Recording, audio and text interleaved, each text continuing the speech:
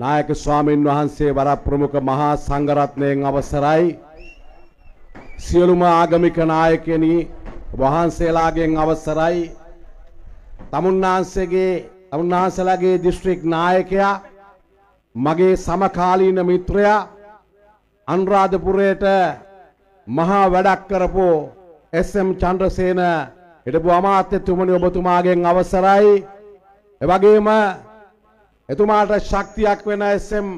රංජිත් හිටපු මහා මාත්‍යතුමනි අනුරාධපුර දිස්ත්‍රික්කයේ නියෝජනය කරන සියලුම පාර්ලිමේන්තු මන්ත්‍රීවරුනි අපේ පක්ෂයේ මහලේකම් සාගරකාරීව සම්මහලේකම් තුමනි අපේ පක්ෂයේ ජාතික සංවිධායක නාමල් රාජපක්ෂ මැතිතුමනි ජොන්සන් පනාන්දු ඇමතිතුමා ප්‍රමුඛ සියලුම අමාත්‍යවරුනි රාජ්‍ය අමාත්‍යවරුනි පාර්ලිමේන්තු මන්ත්‍රීවරුනි සම්භාවනීය අමුත්තනි මේ අවස්ථාවට සම්බන්ධ වන දාබර කලාවැව ආසනයේ අම්මේ තාත්තේ සහෝදර සහෝදරිය ඔබ සියලු දෙනාගෙන්ම අවසරයි.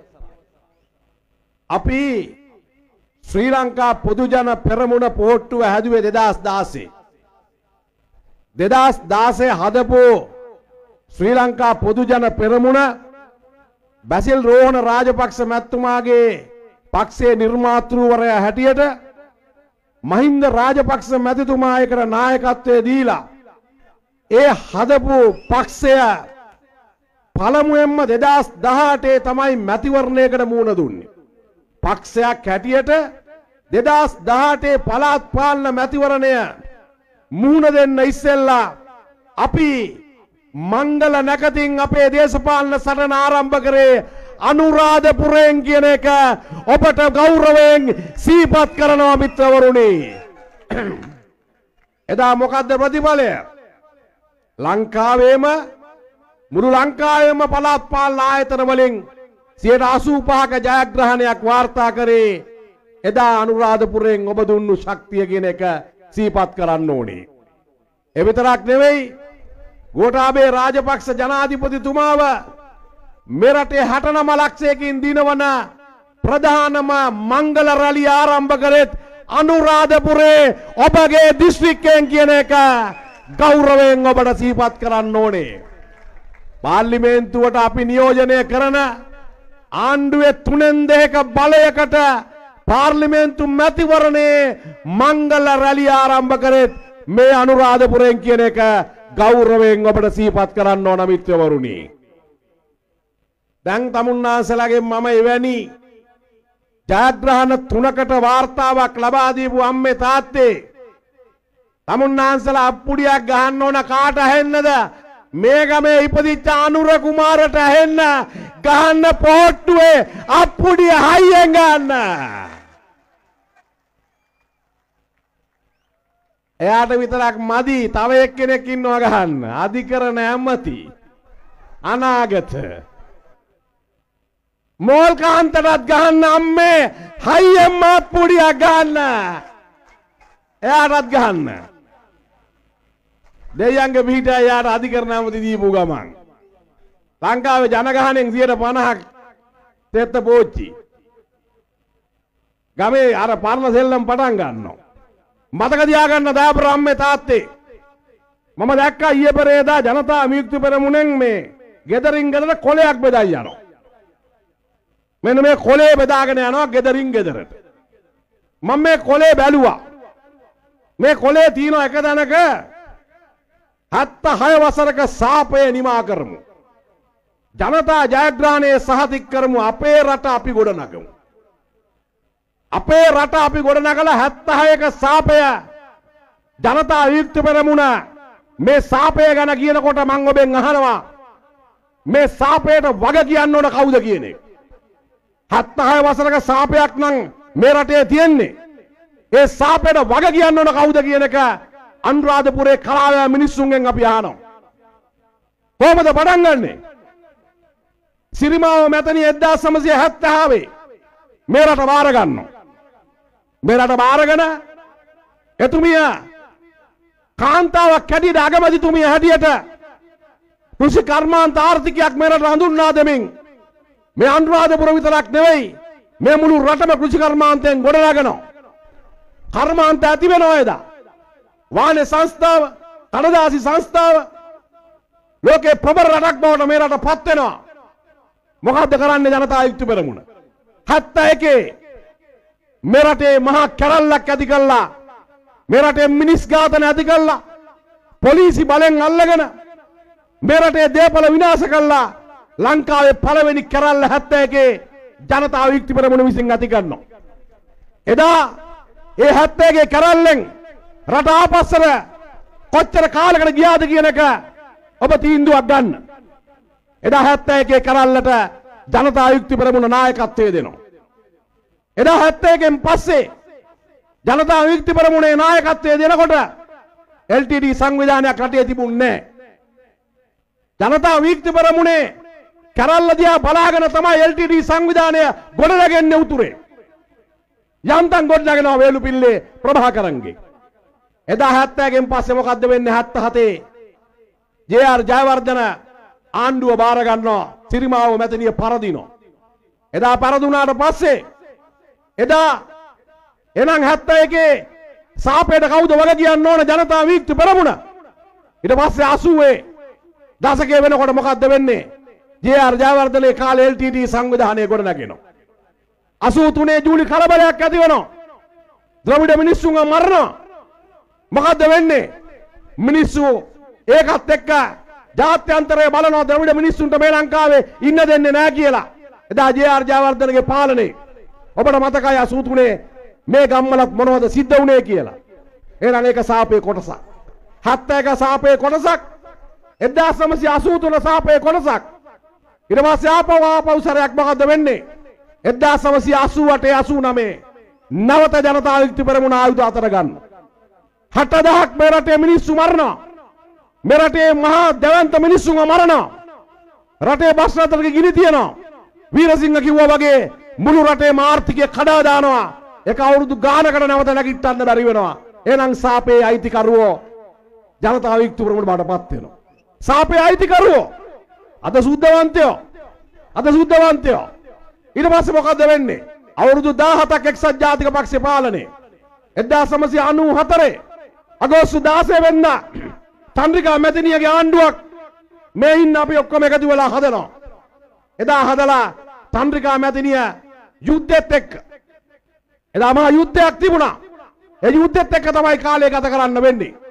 හැබැයි ඒටි ඉස්සෙල්ලා ආර් ප්‍රේමදාස මේ රටේ අගමැතිවරයා හැටියට ආර් ප්‍රේමදාස එදා මොකද්ද කරන්නේ? අර LTT සස්සමාදීන්ට ආයුධ ටික දෙනවා. සිමෙන්ති බංකරට හදන්න සිමෙන්ති ටික දෙනවා. සල්ලි දෙනවා. එදා ප්‍රේමදාස දීපු ඒ හැම ආයුධයකින්ම අපේ රටේ වීරෝදාර රණවිරුවන්ට මරණයක් වෙනවා. එනම් මේ සාපේ කොටසක්. මේ සාපේ කොටසක්. හැබැයි 2005 තමුන්නාසලගේ අපේ විශේෂයෙන් අනුරාධපුර දිස්ත්‍රික්කයේ ඔබ මේ LTD ත්‍රස්තවාදයෙන් බැටකාපු මිනිස්සු අපි බලාපොරොත්තුවක් ඇති කරගෙන තවත් නායකයෙක් හදනවා. ජේආට කරන්න බැරි වෙච්ච දේ ප්‍රේමදාසට කරන්න බැරි වෙච්ච දේ ඩීබී විජේතුංගට කරන්න බැරි වෙච්ච දේ චන්ද්‍රිකා මැතින කරන්න බැරි වෙච්ච දේ ඔබ අප කියනවා රටේ මුකුත් එපා අපිට අවුරුදු 30ක යුද්ධය අවසන් කරලා දෙන්න කියලා. අවුරුදු 30 යුද්ධෙට මහින්ද මහත්තයාට අවුරුදු 3යි යුද්ධය ඉවර කරන්න මේ රට එක්සේසත් කරේ වෙන කවුරුවත් නෙවෙයි මහින්ද රාජපක්ෂ කියන එක බොහොම ගෞරවයෙන් අපිට සිහිපත් කරන්න පුළුවන්. දැන් මම ඔබෙන් අහන්න එක දෙයක්. අපි පොහොට්ටුවේ මිනිස්සු. අපි ශ්‍රී ලංකා පොදු ජන පෙරමුණේ මිනිස්සු. අපි මහින්ද මහත්තයාගේ මිනිස්සු. එහෙනම් මිනි මරපු JVP එකේ සමාජිකයෙක් වෙන එක ඔවුන්ට ගෞරවයක්ද? මිනි මරපු JVP එකේ සමාජිකයෙක් වෙන එක මිනි මරන්න සහයෝගය දීපු සජබේ ප්‍රේමදාස මහත්තයාගේ සමාජිකයෙක් වෙන එක ඔවුන්ට ගෞරවයක්ද? හැබැයි ඒ ඔක්කොටම වැඩිය මිනි නොමරපු රට ආරක්ෂා කරපු රට බේරගත්තු මහින්දගේ පක්ෂේ සමාජිකත්වය ගැනීම ඔබට අපිට ගෞරවයක් ආඩම්බරයක් කියන එක අපි තමුන්නාසලා සිහිපත් කරන්න ඕන මිත්‍රවරුනි. ඒ අවුරුදු 10 මේ අවුරුදු 76ක සාපයක් ගැන කියන අයට අපි මතක් කරනවා. මහින්ද මහත්තයාගේ 2005යි 2015යි තමයි මේ රටේ ස්වර්ණමය යුගය මේ රටේ ස්වර්ණමය යුගයක් තිබුණා නම් ඒ ස්වර්ණමය යුගයට අයිතිකාරයා මහින්ද රාජපක්ෂ ජනාධිපතිතුමා යුද්ධය අවසන් කරා අධිවේගී මාර්ග හැදුවා. වරායවල් හැදුවා. විදුලි බලාගාර හැදුවා. ගමේ පාර කොන්ක්‍රීට් කරා. කරන්න තියෙන හැම දෙයක්ම මහින්ද ජනාධිපතිතුමා කරා මිත්‍රවරුනි. එනිසා මහින්ද රාජපක්ෂ ඒ ගෞරවනීය නායකයාගේ ඒ හදගස්ම සහ සුවඳ මේ රටේ මිනිස්සු සියලුම දෙනා අඳුරනවා. එනිසා කවුරු මොනවා කිව්වත් අපි අද අනුරාධපුර කලාවෙන් මේ ආරම්භ කරන මංගල රැලියෙන් මේන මැතිවරණේ ඓතිහාසිකම ජයග්‍රහණය වාර්තා කරන්නේ පාට්ටුව කියන එක. බොහොම ගෞරවයෙන් සිහිපත් කරනවා මිත්‍රවරුනි. බොහොම ගෞරවයෙන් සිහිපත් කරනවා. එනිසා මිත්‍රවරුනි දැන් සමහරව අහනවා අපෙන් අහනවා මේ අබුන්නාන්සලත් අහනවානේ ජේපී එක නැගලා නේද අහනවා ඒව අහනවනේ සජිතුත් නැගලා අහනවා දැන් මේ අහන්නේ අපි කියන්නේ. ඔව් අපි අපි බලන් ඉන්නවා මේ නැගලා තියෙන විදිය. නැගලා තියෙන විදියයි නගින විදියයි බලනවා අපි දැන්. සාමාන්‍ය මතක තියාගන්න. අපේ බෞද්ධයෝ හැටියට ශ්‍රී පාදයේ වඳින්න යනවා. එක්කෝ රත්නපුරා පාරෙන් නගිනවා. එහෙම නැත්නම් හැටින් පැත්තෙන් නගිනවා. අපි රත්නපුරා පාරෙන් නැග්ගත් හැටින් පැත්තෙන් නැග්ගත් අවසානයේදී අපි ශ්‍රී පාදයේ ගිහිල්ලා නලල තියලා ශ්‍රී පාදයේ වැඳලා අපි ආපහු බයි. හැබැයි බුද්ධිමත් මිනිස්සු අනාගතයේ දකින මිනිස්සු වැඩපිළිවෙලක් ගැන හිතන මිනිස්සු සැබෑ බෞද්ධයෝ කොහොමද ශ්‍රී පාදේ නගින්නේ? සැබෑ බෞද්ධ ශ්‍රී පාදේ නගින්නේ ශ්‍රී පාදේ වැඳලා ශ්‍රී පාදයට තමන්ගේ නලල තියලා වැඳලා ඉර සේවයත් බලන්නේ. පාන්දර තියෙන ඉර සේවය බලාගෙන එන්නයි ශ්‍රී පාදේ නගින්නේ එනිසා අපි දන්නවා ශ්‍රී පාදේ වඳින්න යනකොට ඒ වැඳලා ඉර සේවයත් බලලා එනකොට කාලය කළමනාකරණය කරගන්න අපි කාලය කළමනාකරණය කරගන්න දන්නවා ඒ ශ්‍රී ලංකා පොදු ජන පෙරමුණ. දැන් අර මං කිව්ව ජනතායත්ව නැගලා කියලා. ජනතායත්ව නැගලා තිනවා. රෑම නැගලා රෑම බැහැලා. ඒගොල්ලෝ රෑම නැගලා නලල තියලත් නෑ, වැඳලත් නෑ බැහැලා.